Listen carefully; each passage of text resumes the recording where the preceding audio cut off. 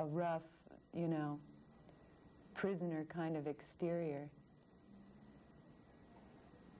Yes. Um, Charlie suggested that we did.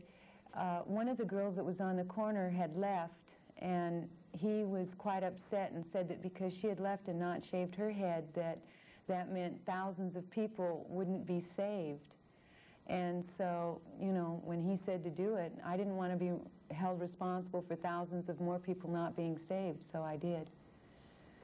And the same with the X, you know, I, I really don't have any idea at all. He said it was because we were Xing ourselves from society. Yes. The scar is, I, uh, huh? Uh, sort of, but it's not real clear anymore. I'm going to have it removed whenever I can get, you know, plastic surgery. Oh, I don't know if you can. Can you? Yeah.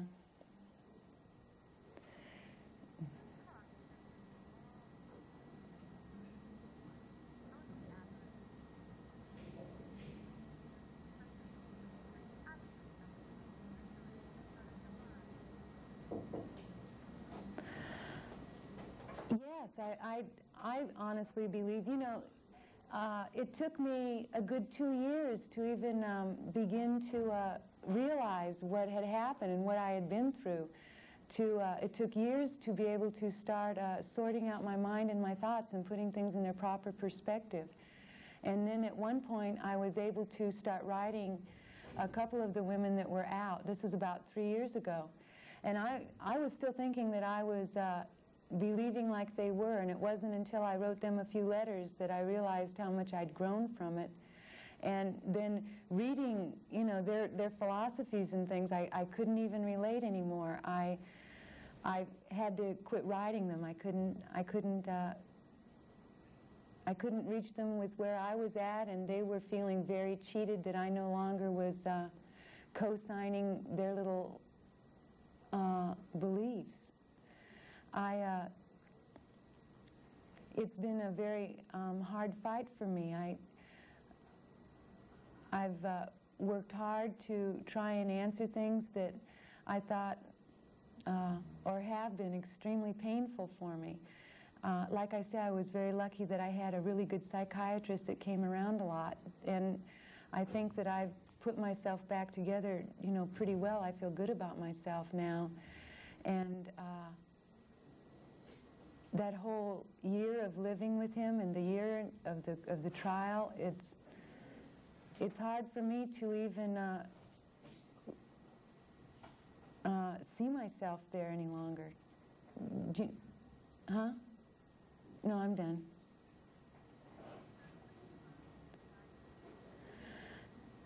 Oh yeah, she lived at the ranch.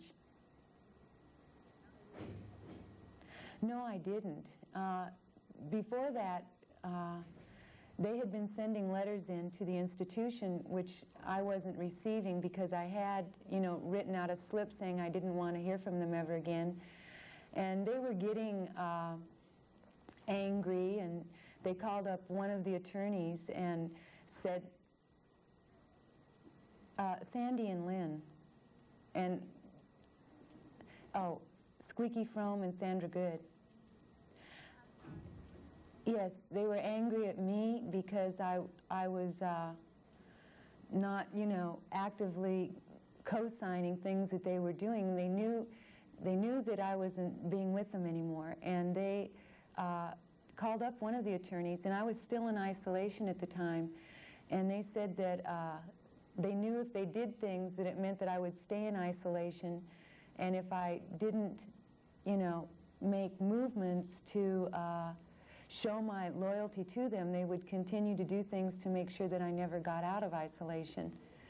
So I figured something was happening, but uh, I didn't know, you know, I didn't know what they had in mind or that it was going to happen.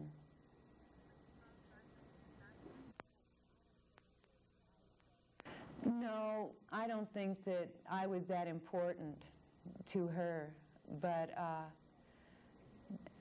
I figured something was up when they were so um, adamant about us, meaning myself and the other, co- you know, my co-defendants, uh, co-signing themselves. It almost got to be a trend that if there was something that ugly was going to happen, that suddenly they'd involve the three of us, you know.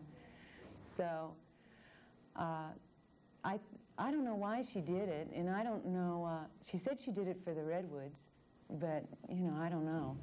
And uh, I, you know, I didn't know she was going to do it.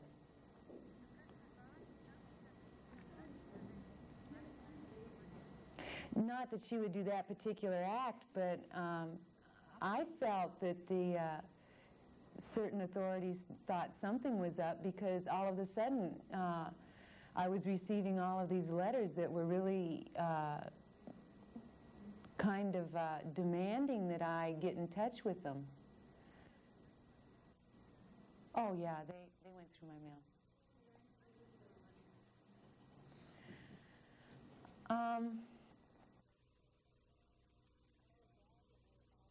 I, I feel glad that we're all separated. And I, I hope that uh, they too will be and are able to uh, sort out their lives. Well, I, I really want to eventually just be able to have my own complete life with a, a new name and uh, just be able to uh, not have to be reminded of it. And I, you know, I don't have a desire to be in touch with anyone that I knew then in the future.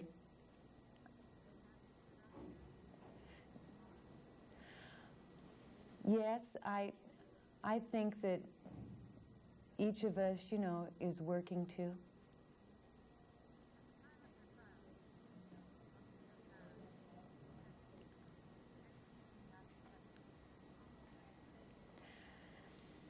Yes.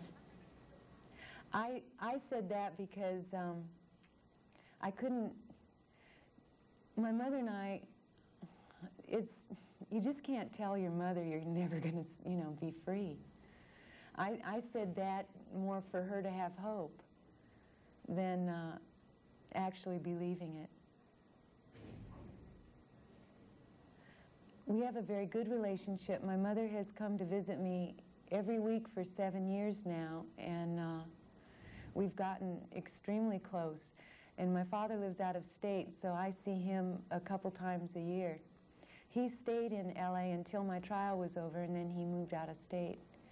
Uh, I have a very close family ties now, and uh, they've all been extremely supportive, but they haven't been uh, weak to me either.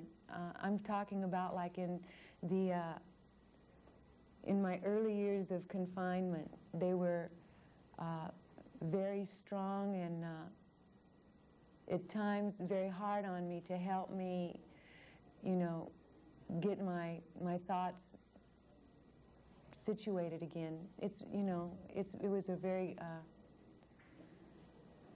they're they're really wonderful people.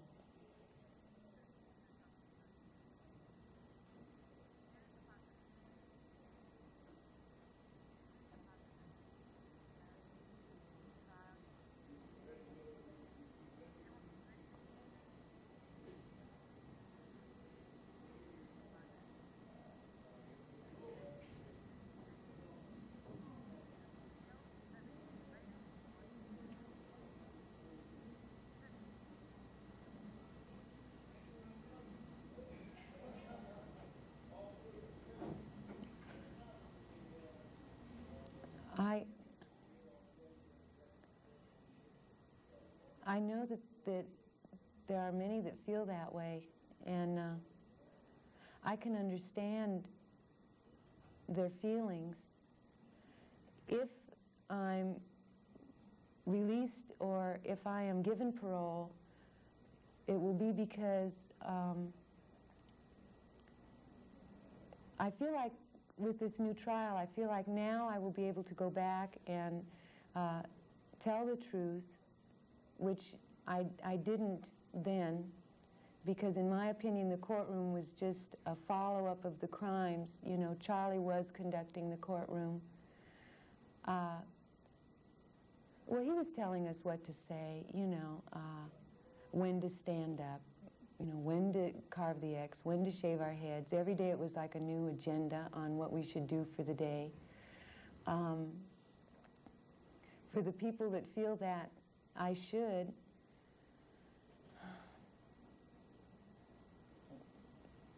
I feel like if I am released, it will be because I deserved it. And if I'm not, then I'm, you know, I'll be able to handle that also. Then I go back to the institution and I, I try for parole and uh, continue my, you know, life at the institution.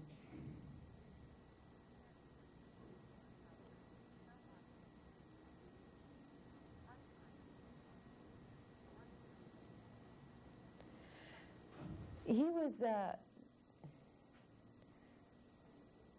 he presented himself to be a very free person that was free of a lot of inhibition and for many of us we were brought up in a regimented type uh, middle class up you know background uh, with the acid we were regressing into uh, younger years of wanting to play in the dirt practically and wear flowers and all that kind of thing. He was almost at times like a Pied Piper.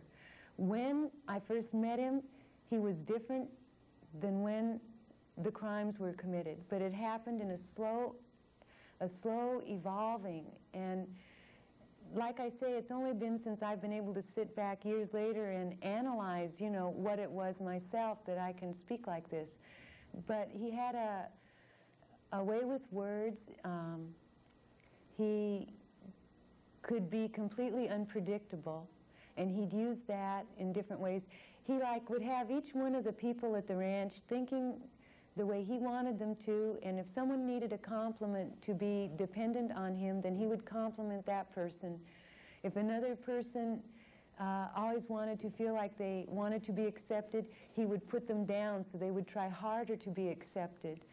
Uh, it was, you know, like I've tried to think, did he have like a superpower or, you know, was it some something else? And really, I just think that he was just a really good con artist and he didn't have that heart of material to con when you've got a lot of uh, young children that are uh, dropping acid all of the time. Their minds are like, you know, clay anyway. So uh, that was mainly, but for, for myself, the attraction was like uh, his, he, he always emanated a certain amount of freedom.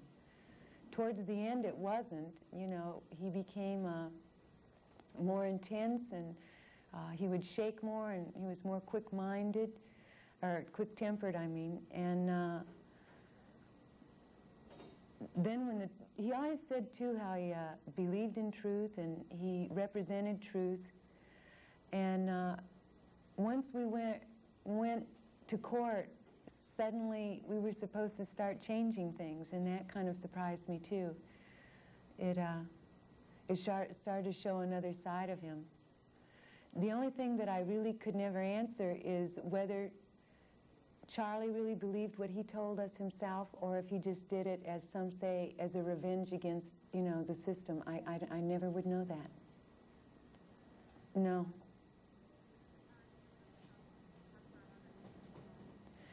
Yes, it was supposed to. Um, it was supposed to cleanse the whole world, and I, I honestly believe that.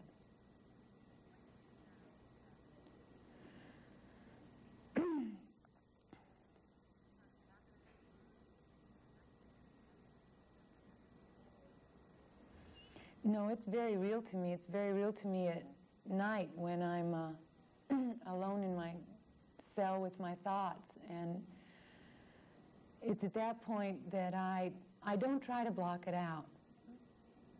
I think that that's part of the, excuse me, I think that's part of the uh, hell that I'll have to live with forever.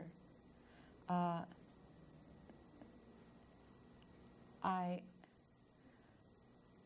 I work regularly on um, develop, developing a certain amount